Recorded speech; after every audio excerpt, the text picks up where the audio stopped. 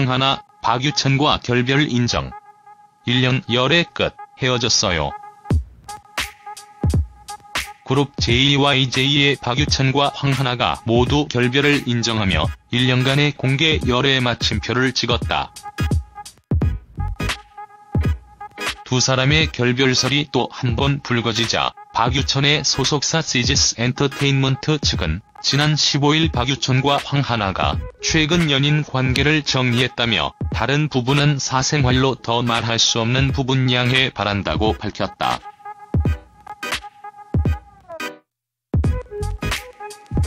박유천과 황하나는 지난해 4월 열애 사실과 9월 결혼 소식을 전해 뜨거운 화제를 모았다.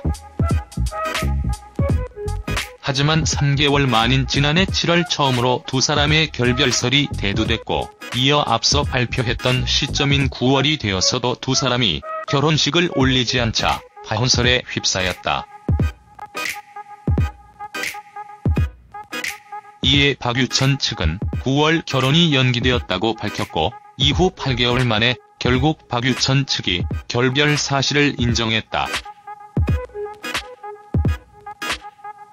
하지만 결별 소식 이후 황하나는 자신의 SNS를 통해 지인에게 기사 보지 마세요.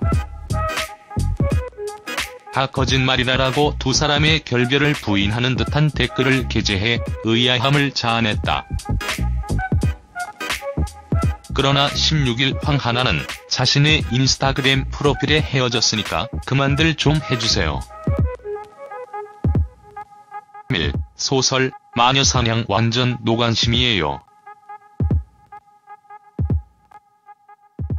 지금은 해명 안 할게라고 박유천과의 결별 사실을 밝혔다. 이어 그는 그리고 남족하는 사람들보다 말 전달하는 사람들이 더 나쁜 것 같아요. 악의적인 분들은 죄송하지만 차단할게요.